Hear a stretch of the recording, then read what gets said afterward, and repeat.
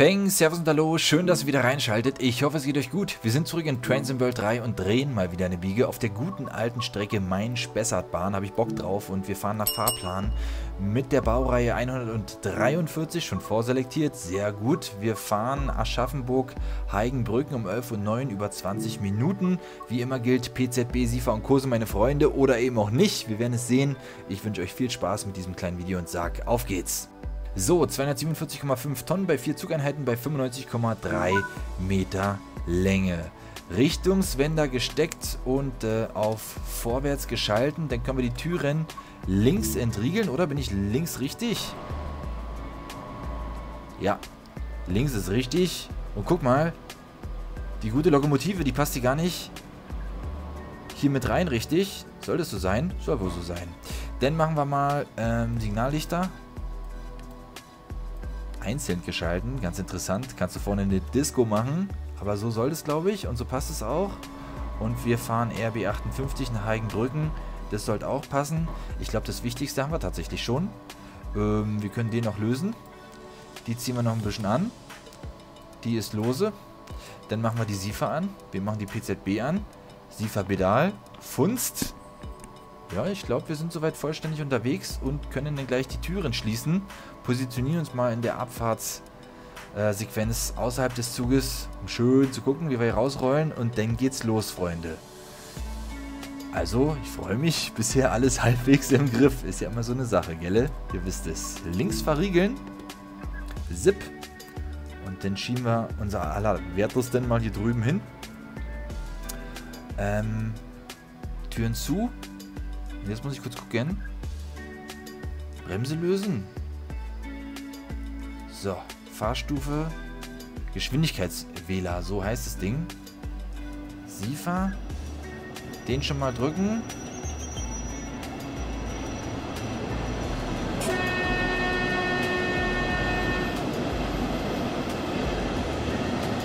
Und wir sind auf Kurs, Freunde.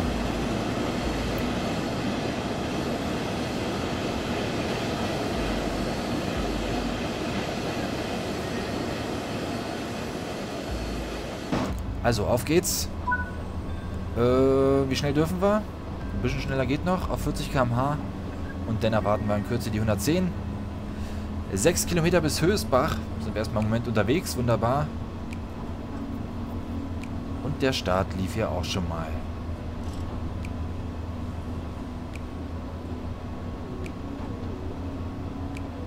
Sind wir hier hinten schon mal lang gefahren? Ich, bestimmt, gell? Aber vielleicht andersrum. Comment. Wie es so immer ist, ich habe viel zu wenig Zeit, mittlerweile durchaus schon einige DLCs, aber trotzdem schaffe ich es viel zu selten, eine Runde zu drehen, fahre viel zu wenig. Schade eigentlich drum. Naja, wenn nicht mehr ist, ist nicht mehr. Ich freue mich über jede Fahrt auch gemeinsam mit euch, die ich hier auf YouTube dann ähm, einstellen kann. So, 120, mehr ist sowieso nicht drin mit der guten äh, Lokomotive. Von daher passt es, war schon auf Kurs. Ähm, ja, Freunde, und dieses Video wird noch kurz vor Erscheinen des DLCs Linke Rheinstrecke Mainz-Koblenz erscheinen. Habe ich mal richtig Bock drauf. Turnt mich viel mehr als Bremen-Oldenburg, muss ich tatsächlich sagen. Ich weiß nicht warum. Ich glaube einfach, ich kenne mich zwar wieder mal viel zu wenig aus, aber ich glaube einfach, der gesamte Streckenverlauf ist viel ansprechender, viel nostalgischer, viel idyllischer entlang dem Rhein. Mainz-Koblenz finde ich ist auch eine schöne Ecke von Deutschland, wo ich jetzt Bremen-Oldenburg nichts absprechen will, aber einfach irgendwie identifiziere ich mich damit mehr, kann damit mehr anfangen und freue mich entsprechend viel stärker drauf. Und ich freue mich natürlich auch auf eine 103. Also sehr cool. Habe ich auf jeden Fall Bock, die Baureihe 103 hier in Trains World 3 zu fahren. Freue mich auch über dann bestimmt einige interessante Paints zu der roten Lackgebung.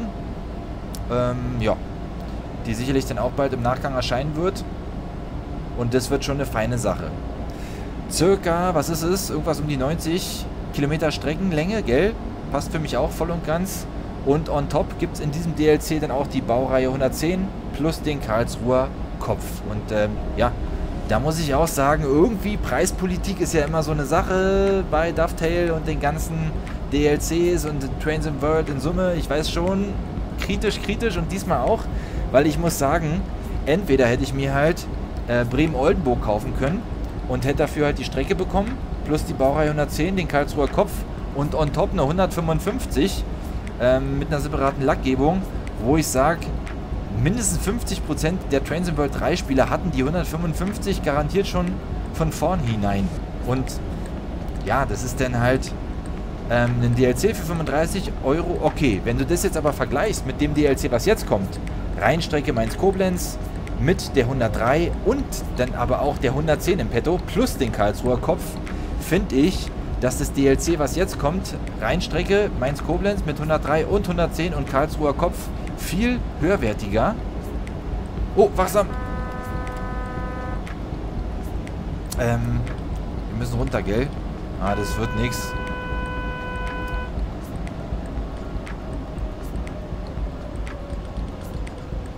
Doch, wird was mit voller Verbremsung. Naja. Vorsicht ist die Mutter der Porzellankiste und Jacko ist nervös. Ich muss den jetzt mal komplett rausnehmen. So, jetzt ist er wieder drin. Und in 1,3 Kilometer halten wir dann an. Befreiung. Hier ist Befreiung. Ähm, wir bleiben jetzt einfach bei der Geschwindigkeit schon. So, jetzt habe ich den Faden natürlich verloren. Was ich sagen wollte, lange Rede, gar keinen Sinn. Ähm, das jetzige DLC mit der 103 und der 110, dem Karlsruher Kopf auf der Strecke, Mainz-Koblenz, finde ich auf jeden Fall, habe ich bestätigt, oder? Wesentlich attraktiver vom Preismodell her. Okay, jetzt müssen wir mal gucken, wie wir hier runterbremsen. Haltepunkt und so. Habe ich wieder kein Gefühl. Wie schnell dürfen wir? Ah, 40. Wir sind zu schnell. Was ein Mist. Schade. Uncool. Da hat es ordentlich geruckelt. Fahrgastkomfort war nicht gegeben. Aber wir sind noch in der Spur auf dem Gleis. Das ist ja schon mal auch viel wert. Aber ich mag keine Patzer. Simulation ist Simulation, gell? Aber wenn wir so viel rumschnacken, dann schnacken wir halt so viel rum. Das ist die andere Geschichte. Kurzer Bahnhof, so wie es ausschaut. Da müssen wir uns reindrücken. So, Befreiung möglich. Der Papa drückt gleich immer wachsam und befreien. Aber gut. In der Aufregung. Ah, okay. Gute Bremsperformance, alles klar. Das läuft wunderbar. Und wir kommen eigentlich tipptopp nach Fahrplan an. Ah, ein bisschen über den Punkt. Oma muss ich wieder festhalten hinten. Uh. wir stehen. Rechts entriegeln. Einsteigen bitte. Ähm, ja. Geht besser, ich weiß schon. Geht aber auch schlechter. Oh, guck mal, der Bus steht auch schon da. Alles klar. Der öffentliche Nahverkehr ist getimed auf unsere Ankunft. Würde ich auch gleich hier mit einer Runde drehen. Schön. Dieses Modell habe ich definitiv noch nie gesehen in Transit World. Also Türen schließen. Rechts verriegeln. Und dann geht's weiter.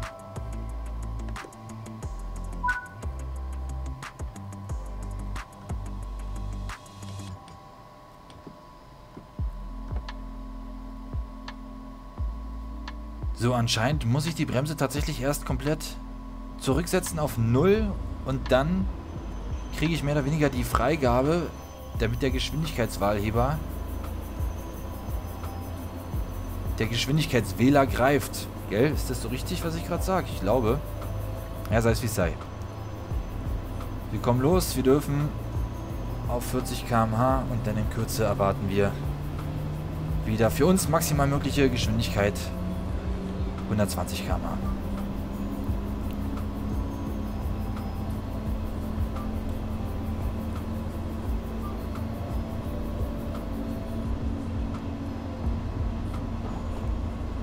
Sind wir wieder drauf. Auf dem Hauptpfad. Haben wir eigentlich schon irgendwas Zugbegegnung gesehen gehabt? Nix, ne? Gar nichts. So, dann schieben wir den schon mal hoch.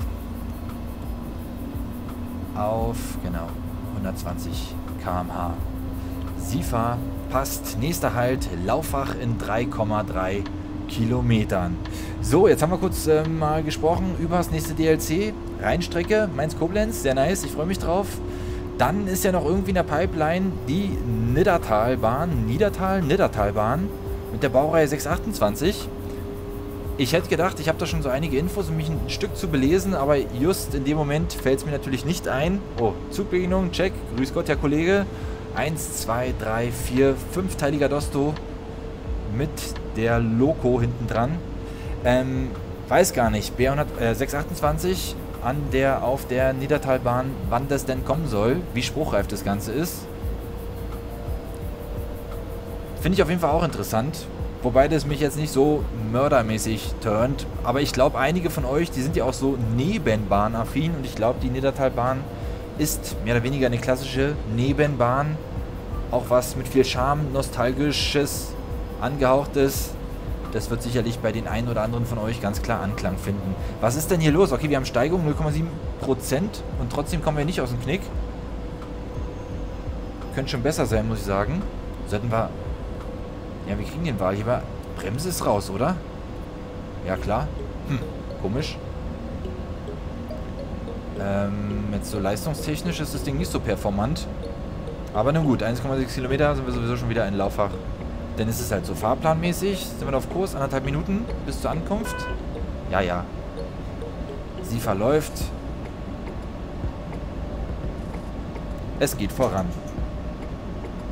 Ja, und sonst bin ich nicht auf Kurs und habe keine Ahnung. Die anderen wissen immer alle mehr auf YouTube und äh, überall und irgendwo als ich. Aber äh, Rheinstrecke Mainz-Koblenz, Niddertalbahn, dann hört es bei mir auf.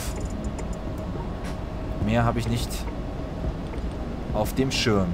So, wir bremsen mal runter. Probieren wir mal ein bisschen entspannter zu machen als eben. Kommt hier wieder ein Abzweig? Nee, ne? Doch. Ah, nee, gibt's nicht. Wir fahren geradeaus. Schon wieder fast ein bisschen verbremst, Freunde. Mann, ich mag das gar nicht. Aber man muss sich dran gewöhnen, wenn du selten fährst und dann noch verschiedene Garnituren. Bei mir ist es auf jeden Fall so, dass genau das eintritt, was jetzt eintritt. Wir kriechen an den Bahnhof ran. So ein Mist, ey. Das tönt mich immer gar nicht. Ihr wisst es, ich sag's jedes Mal. Ähm, den Haltepunkt überfahren ist natürlich ein absolutes No-Go, eine Katastrophe. Nur so hier reinschleichen macht die ganze Geschichte nicht viel besser. Da sprengen wir auch so gefühlt den Fahrplan ein bisschen weg. Geht jetzt noch. 10 Sekunden haben wir noch. Ist schon okay. Aber es geht halt besser. Tja, und auf der Zugbremsstufe 1 kommen wir hier schon gut zum Halten. Also hier braucht es nicht viel, dass wir am Bremshebel ziehen und zum Stehen zu kommen. Auch da wieder Stichwort Fahrgastkomfort, Oma hinten drin. Hier fällt die nicht um. Knapp drüber, 15 Sekunden.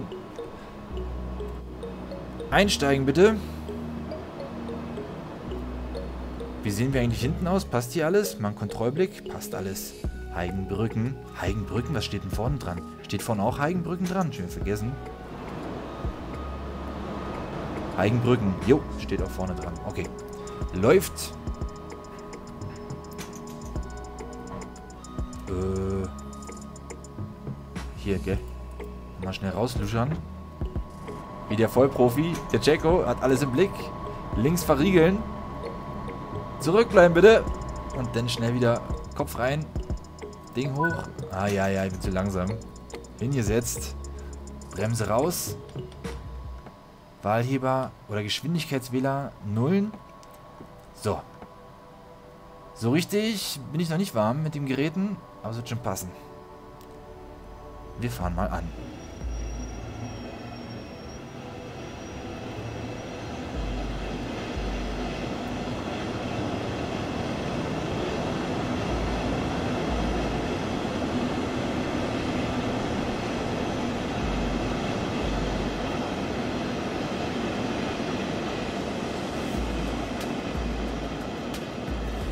Zugbegegnung Ja, servus.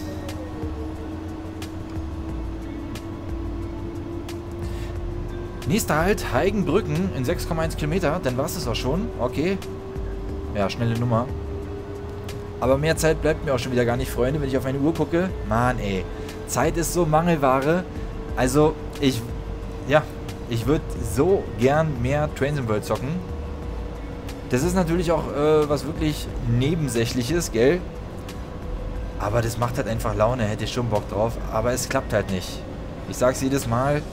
Es fällt mir auch immer schwerer, eure Kommis zu beantworten, auch wenn es noch gar nicht zwingend so viel mehr werden, aber ja, es ist halt einfach schade, schade Schokolade. Mit der Zeit so eine Sache. Real Life halt immer viel Business tatsächlich in meinem Berufsleben. Die Family ums Ohr. Ums Ohr, um Kopf, um einen herum. Die Kids, die Frau, zurecht. Ich liebe alle, aber ach schade, man kommt da nicht zum Zocken, ja. Transport FIFA 2 würde ich natürlich auch viel mehr gerne ausreizen wollen, aber es klappt halt einfach nicht. Und dann ist es so, wie es ist. Oh, was ist das hier?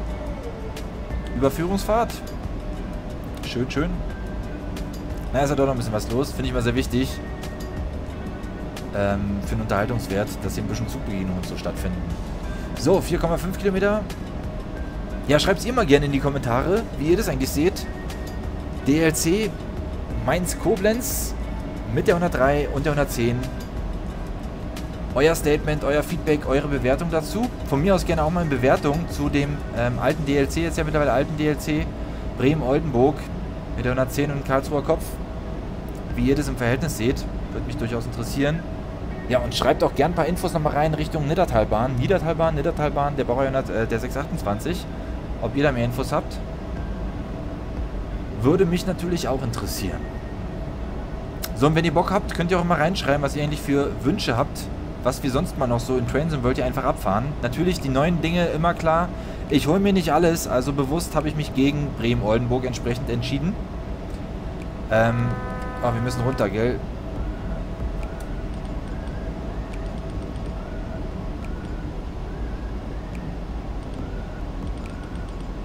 So, das haben wir.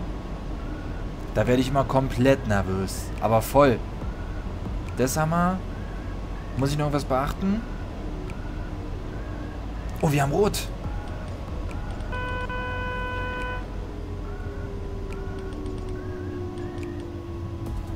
Oder bin ich falsch? Was ist denn hier los? Befreiung nicht möglich, ganz klar.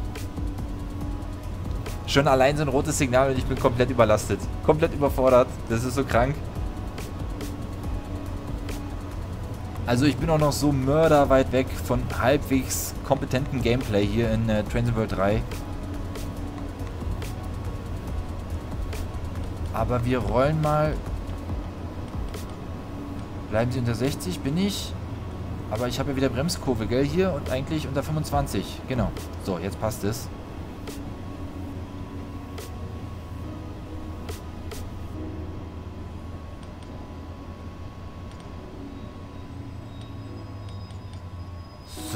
Wir rollen mal einfach ran. Ich weiß gar nicht ähm, was zum guten Ton gehört vor so einem Signal. Stringent ranfahren, anhalten, stehen, stopp, Ende aus, warten bis weitergeht oder rollen wir so ein bisschen vor uns hin? So, jetzt geht's los. Und wir rollen sogar rückwärts, ist auch wieder klar. Das kann doch nur mir passieren. Die Fahrgäste hinten erstmal. Hilf! Hilf! Jetzt gib mal Schubrakete. Mann, Alter.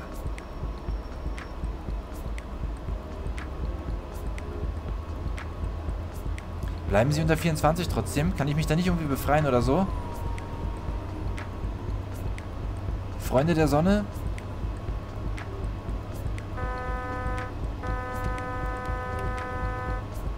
Wachsam? Habe ich doch, oder? So. 45, check.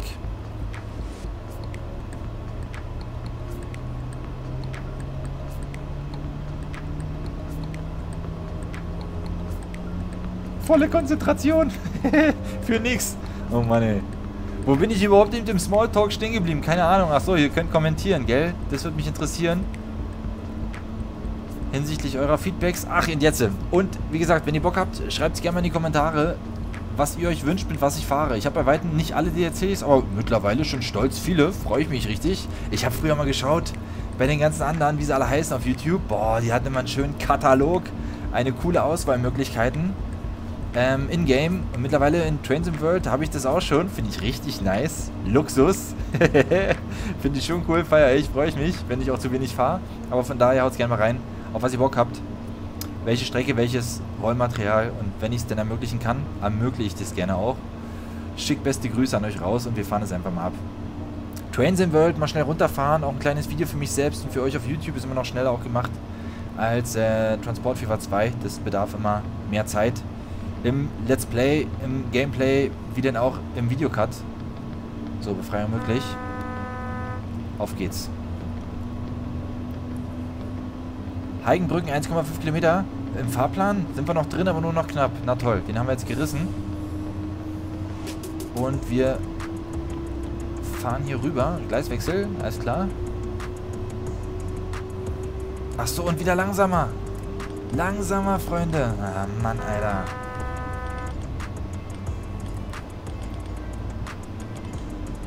Ich hab's einfach nicht. Ich hab's nicht auf dem Schirm.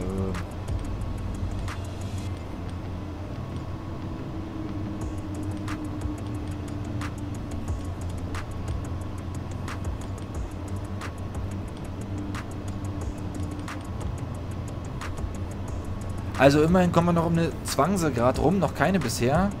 Wobei man soll den Tag nicht vor dem Abend loben. Wir sind noch nicht zu Hause. Beziehungsweise am Endhaltepunkt. Aber ich bin ja mal guter Dinge.